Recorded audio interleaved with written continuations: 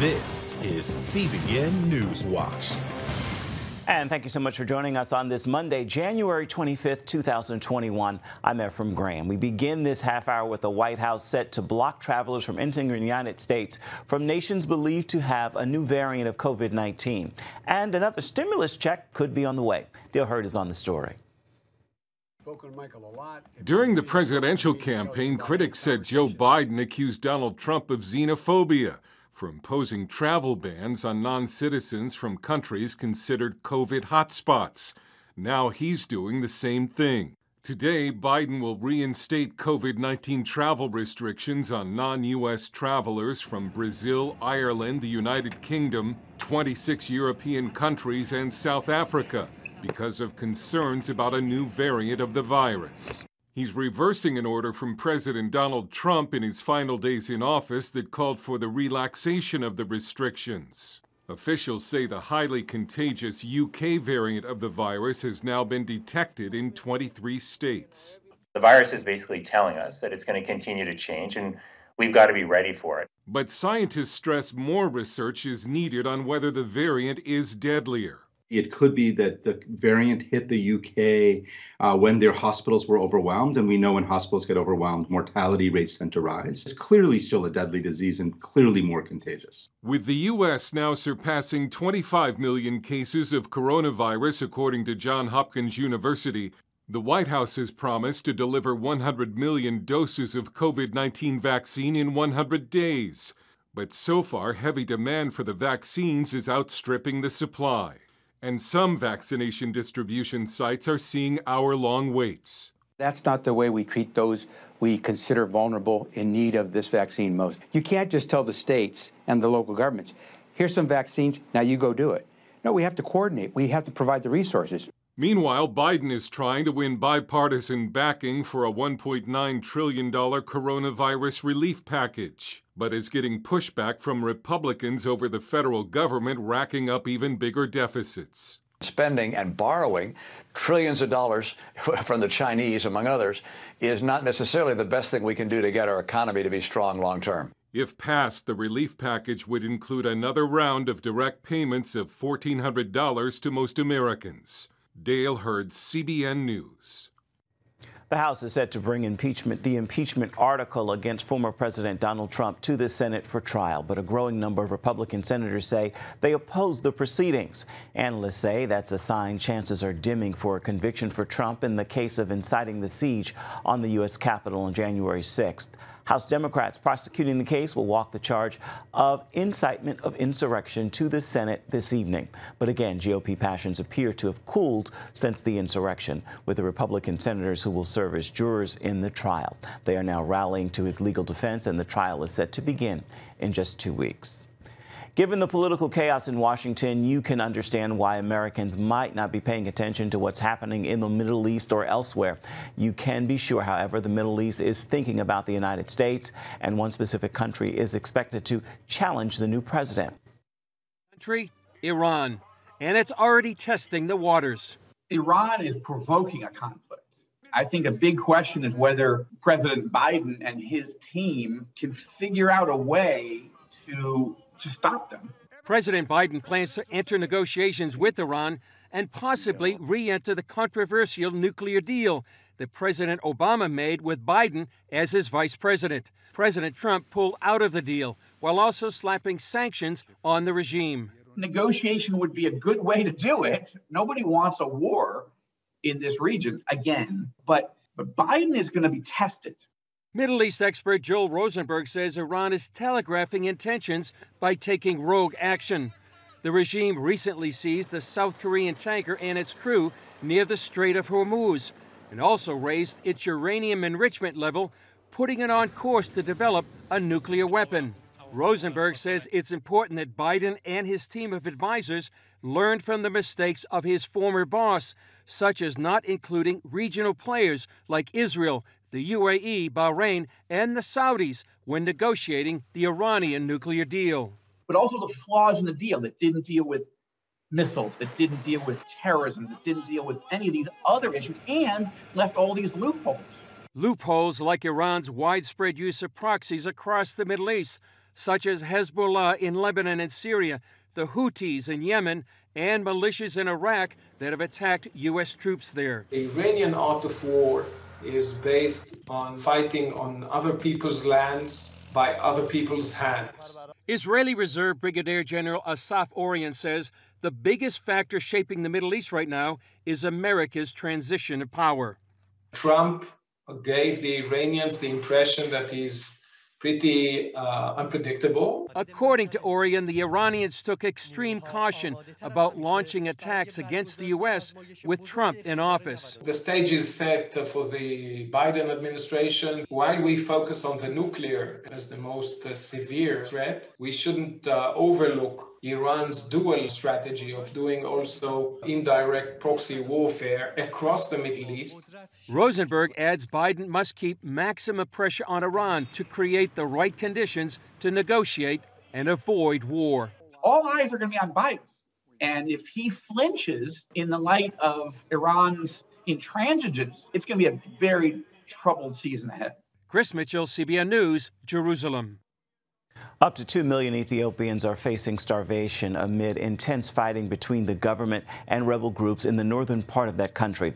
Fighting increased last week in the Tigray region, spurring reports of a bloody massacre at a church in the Ethiopian city of Aksum that killed more than, more than 700 people. Our Chuck Holton is on this story. For more than 2,000 years, Ethiopians have believed their country holds one of the most sacred relics in all Christianity, the Ark of the Covenant. Here in the city of Aksum, a special church known as the Church of St. Mary of Zion is where the ark is said to have rested for centuries. Adventurer and historian Bob Cornuke has explored the region extensively.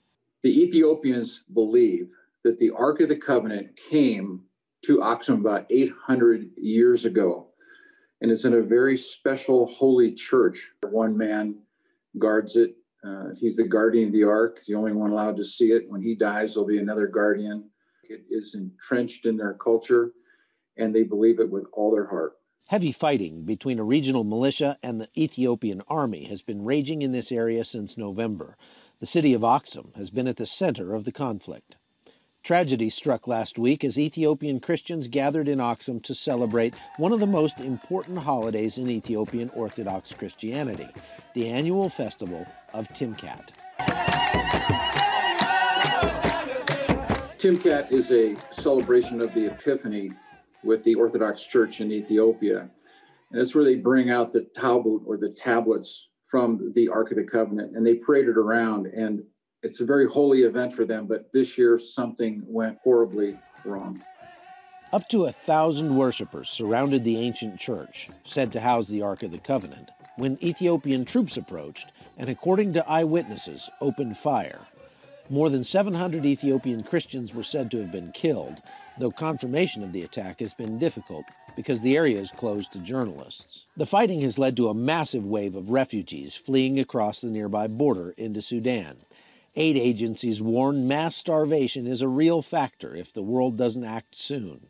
Incoming refugees report almost daily massacres by both sides, as well as mass rapes and other human rights abuses.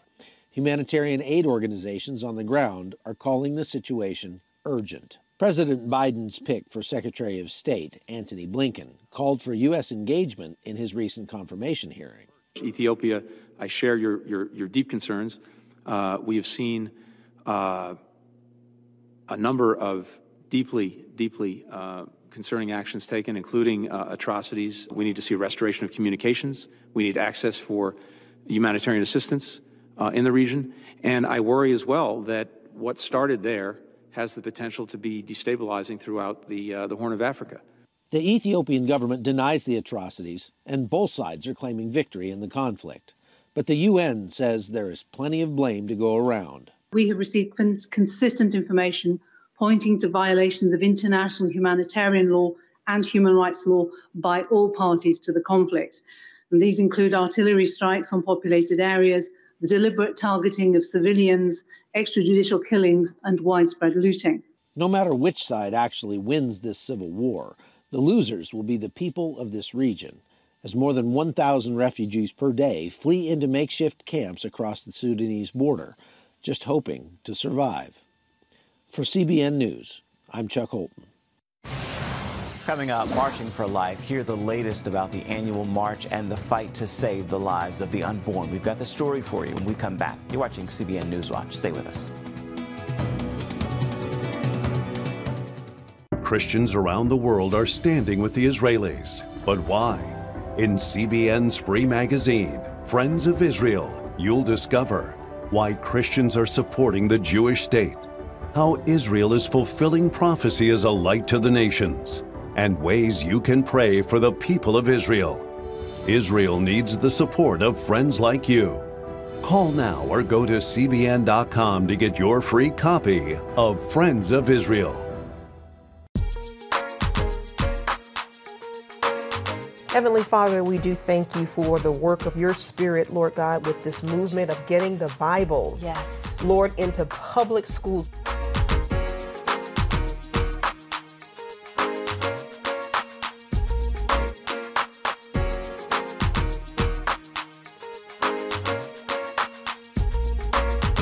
Watch The Prayer Link, Tuesday nights at 630. Hey, if you're tired and exhausted all day, you can't think clearly, and you really just need a cup or even a pot of coffee to get through your day, then join me, Dr. Josh Axe, for this new series where I'm going to teach you how to transform your diet and use essential oils and supplements to get a better night's sleep. Get Protect Your Sleep and live your best life with innovative information from five leading sleep experts. If you're not a great sleeper, you can do things to make yourself a great sleeper. If you're already a pretty good sleeper, you can enhance your sleep and be even better. Discover a sleep enhancing bedtime routine, how to put insomnia to rest, learn how to relieve pain that disturbs sleep, and much more in Protect Your Sleep. Everything you do, you do better with a good night's sleep. Wake up to your best life. Call 1 800 700 7000 to get your free DVD or booklet of Protect Your Sleep today. Don't miss out on this brand new series. And we're back with a stunning statistic. More lives are lost to abortion in a year than all other causes of death combined. Later this week, pro life advocates journey to the nation's capital, and even more will join the annual March for Life virtually. Paul Strand has the story.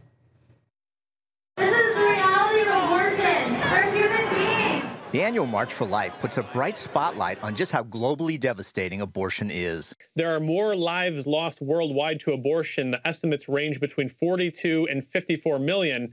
More lives lost to abortion worldwide each year than all other causes of death combined. Steve Karlen writes about battling abortion in This Is When We Begin to Fight. He appreciates the March for Life. It reminds people of the barbarity of abortion. It fires us up. It inspires us to go out and stand in prayer at a 40 Days for Life vigil, to serve in our pregnancy help centers. People at a prayer vigil had a deep impact on Michelle Shelfer's life. She'd already had one abortion and was headed into a clinic to get another. There was a cluster of people praying outside. Now, they didn't say a word to me. They didn't come close to me but I know what they were doing. And even if I hadn't known, their prayers were answered because I went in, paid my money, and sat down. And at the end of an hour, the doctor still hadn't come to call me in. And I got up and I left. My husband was going through the same change of heart at the same time. And he called me and dragged me out of there. We got our money back. We sat in the car of the in the in the parking lot of the abortion clinic and he proposed to me there.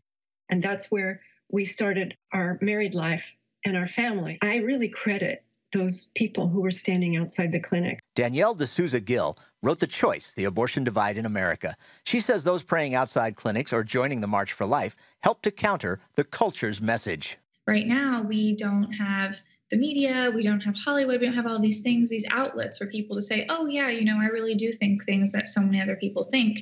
They the left often makes us feel like we're the weirdos. We're the people who are the fringe people. Our views are really not, you know, not the mainstream. I think there's value in seeing those around you who are questioning the morality of abortion. Shelfer, an animator, has drawn and published hundreds of babies' faces she calls foundlings. To honor the almost 2 billion children who have been lost to abortion worldwide in the last, I think it's 60 years or so. She helps lead those feeling guilty about past abortions toward healing in her book, Prepare a Room.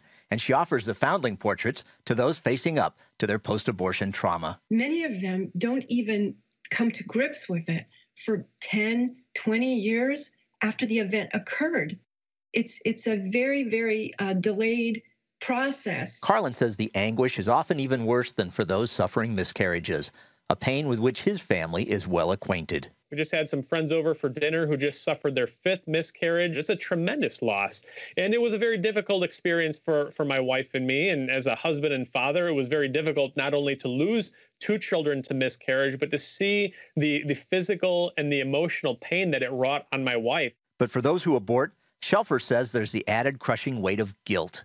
She read from Prepare a Room how the act betrays their very identity of being maternal. We were not just women having abortions, we were mothers having abortions. Abortion turned us mothers into unmothers. It costs. Gill's book, The Choice, references a study of 877,000 women that shows those who had an abortion are 110% more likely to abuse alcohol and 155% more likely to commit suicide. Gill reads from her book how women describe their experiences. I didn't expect the grief. It overwhelmed me. Every woman I've spoken to who had an abortion, regardless of their situation at the time, spoke of grief. It feels like you aren't allowed to grieve if it was your choice to do this. These women are carrying these things around for years, even Christian women, even the women sitting beside you in the pews. Shelfer knew what it was like to feel God couldn't forgive her. I felt that the sin of abortion that I had committed was beyond his reach. Was his his arm was just too short to reach me. Shelfer has found peace and forgiveness and now helps other post-abortive women reach it.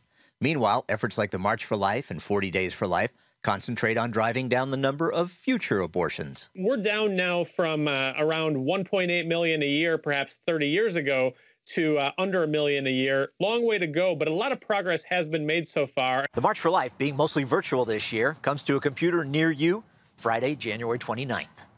Paul Strand, CBN News, Washington. If you want to know more about this year's virtual March for Life, or if you need help recovering from an abortion, we have some resources for you at our website. Of course, just visit cbnnews.com for more information. Stay with us. We're sitting down with worship leader Chandler Moore. We'll be right back. When I came to Regent University, it's like the world opened up. I felt like I needed to advance my career and go back to school. Regent was a perfect fit for me. The Regent professors are world class. You are equipped. The focus of the faculty is on each individual student, whether it's online or in person. You become a part of Regent's family. You carry with you not just the content and the knowledge, but the confidence to understand that we can be significant in the world. Regent University. Follow your path.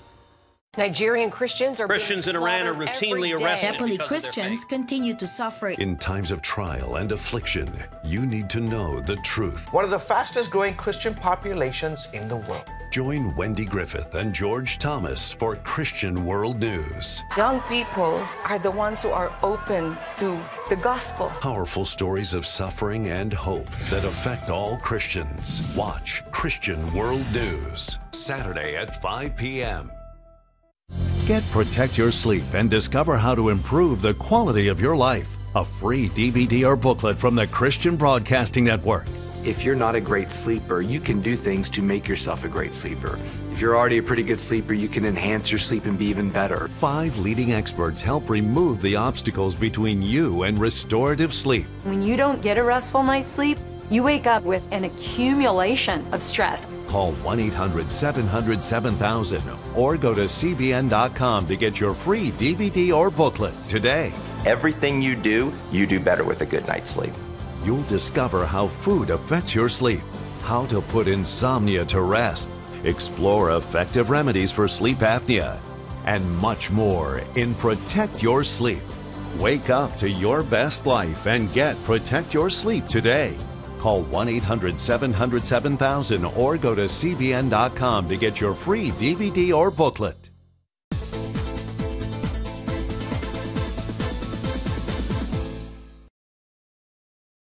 And welcome back to CBN News Watch. Prayer is much needed prayer for Chandler Moore, who actually just lost everything in his home to a house fire. The worship leader and recording artist also has new music that we're listening to right now, and it's a timely word for us all. The project is called Feelings. Feelings. I found myself in a place of sorrow. I found myself in a place of grief. And at first, I didn't have language for it. All I knew was something was off. You, um, so you've been at this for a while. Many people will know your voice from Maverick City Music, but you recently released uh, a solo project, Feelings. Yes, sir. Why Feelings and why now? So, uh, at the top of 2020, like it was for many people, it was a time of uh, heavy introspection for me. I won't pretend. I'll say what I'm feeling. So those first couple weeks of quarantine were really, uh, really tough, tough for me. So I think the Lord allowed that to happen for me personally, so that I can really introspectively look at things that I just buried inside of me and allow ministry, allow church, allow uh, family, allow all these other things as to be happen as distractions and not really focus on things that were happening in Chandler. So March to like April, Mayish, Juneish, and then all the stuff with racism and injustices started happening. And I was just grieving really bad. I didn't have language for the grief. I mean, there were months where I could not pray. And I felt guilty. I carried this guilt thing like, man, I need to be able to pray to God. I need to be able to do this. I need to be able to do this, do this.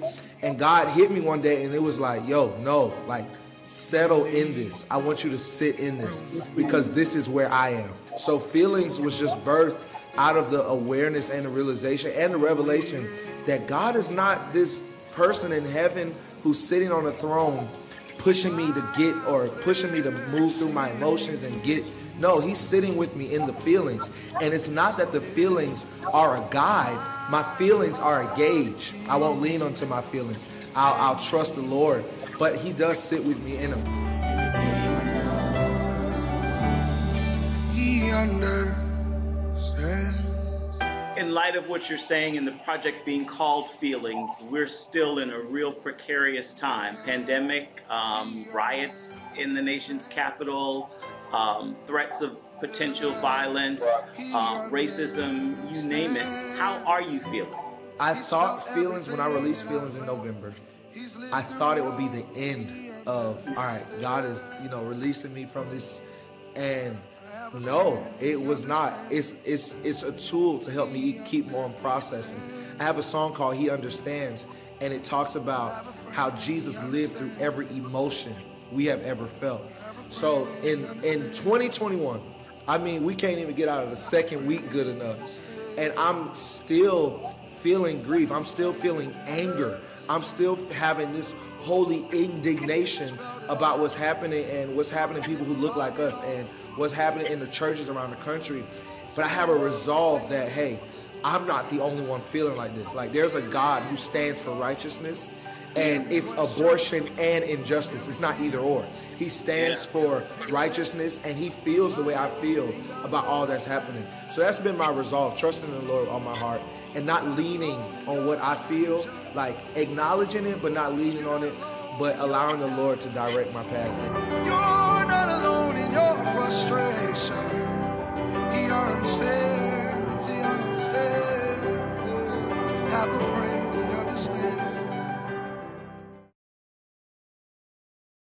Again, the project is called Feelings. It's available right now wherever you purchase your music. Stay with us. There's much more of CBN News Watch ahead. We'll be right back. Introducing the CBN Bible from CBN.com. Now, an easier way to study the Bible and grow in your faith. Highlight your favorite verse. Read separate versions at a glance. Click and read a commentary. Or cross reference your favorite verse using the Strong's Concordance all the right tools to study the Bible, all in one place. The CBN Bible, available at cbn.com/bible or the iTunes App Store. This is CBN Newswatch. Thanks for joining us. Watch breaking news, exclusive stories and programs, credible news reporting. We show you what's happening in the world and how you can pray about it. This is CBN Newswatch because truth matters. Weekdays at 5 on the CBN News Channel. Woohoo! Hi, Superbook fans! Here's something else you'll love. It's the new Superbook Bible app. It's packed with games, activities, and Superbook episodes that you can watch for free. Oh no! There's trivia, a fun daily devotional, and answers to your Bible questions. Plus, an easy to understand Bible the whole family will enjoy. You can even create your own Superbook character. Ta da! Whoa! Millsburg Falls man, come. Sorry, pardon me. Sorry, excuse me. Ouch! Are you getting this? Earn super points to win daily prizes too, and so much more. Time to get back to my adventures. See you soon. It's the new Superbook Bible app. Free downloads on iTunes, Google Play, and Amazon. It has the power to influence weight loss, boost your immune system, and improve brain function. We've seen an explosion of data on the role of the gut microbiome in health. The free Build a Better Gut booklet reveals the latest information about the gut microbiome. You'll discover how your gut affects the rest of your health. The gut microbiome has been linked to depression and cancer and heart disease. Learn how to build a stronger, healthier gut. The microbiome, if it's in good composition, are really protecting us all the time from more invasive things. Get the Build a Better Gut booklet, free from the Christian Broadcasting Network. Call 1-800-700-7000 or go to cbn.com slash build a better gut. You need to make sure that your microbes are working with you, not against you. And if you order online, you'll get immediate access to the Build a Better Gut series, a digital copy of the booklet, and related bonus material. Build a better gut today. Call 1-800-700-7000 or go to cbn.com slash build a better gut for your free copy. And welcome back to CBN News Watch. Right now, it is time for your Monday motivation. And today, I want to leave you with this thought. This is a new day. It comes with new grace and it also comes with new mercy. You can't earn them, you can't buy them. It is God's priceless gift. And all you have to do is make the time to receive it. With that word, I encourage you to make today a marvelous Monday and walk in that grace and mercy. And be sure to have yourself a wonderful week. Be intentional about it, and you can certainly make that happen. Well, that is going to do it for this edition of CBN Newswatch. I want to thank you so much for watching. I want to also remind you you can always find more of our programs on the CBN News channel at any time. You can also find them online at cbnnews.com. Hopefully, you will take the time to let us know what you think about the stories you've seen here today. You can email us. The address is right there at the bottom of your screen newswatch at cbn.com. And of course, you can always reach out and touch us on Facebook, Twitter, or Instagram. We certainly would love to hear from you. Again, I encourage you to make this a marvelous Monday and be sure to have yourself a wonderful week. Be sure to do that on purpose. We'll see you right back here, same time tomorrow. Goodbye, everybody, and God bless. Thank you for watching.